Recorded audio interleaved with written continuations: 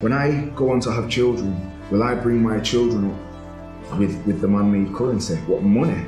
You bring them up with love, nurture, time, lessons, deep rooted lessons. You teach them to do artwork like my mum done to me.